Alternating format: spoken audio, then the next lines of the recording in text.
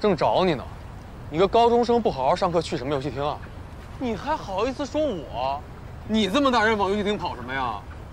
还带着你老板，不好好工作还说我，火气这么大，谁惹你了？你说呢？我问你啊，我笔记本里的画是不是你画的？好像是。你没事动它干嘛呀？我无聊没事干。你不会因为这么点事儿把我叫出来吧？这么点事儿，你知不知道那幅画被送去参加比赛了？那幅画可没法入围啊。入围不了，他得第一了。第一名？你个嘉海大学美术系的高材生，入围个比赛不是轻轻松松的吗？你知不知道啊？决赛是要现场作画的。现在全校都等着我拿奖，我怎么办？跟他们说我作弊了，拿个倒数第一，我以后还混不混？你还有没有别的画？给我看一眼。不是都看过了吗？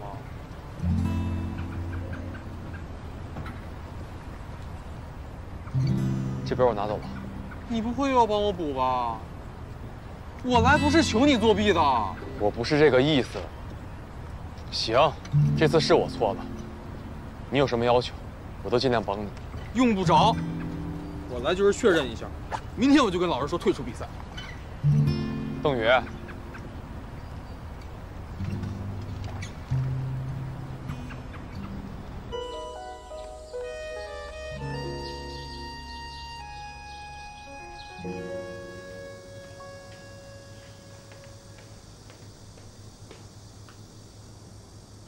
这孩子啊，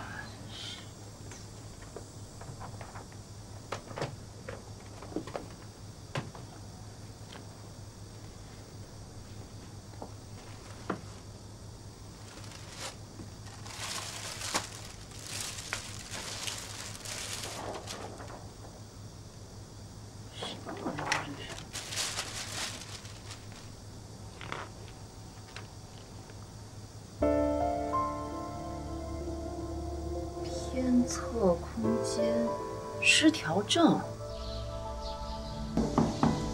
进。老师好。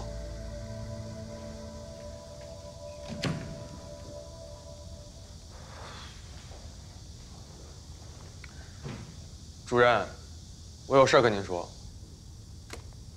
怎么了？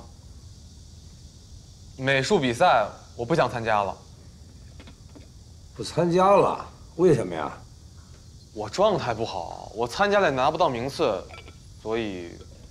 可是美术老师跟我说，你这次比赛画的很好啊，只要正常发挥，就能替学校争取不错的名次，而且艺考方面还能加分，这是多好的机会！主任，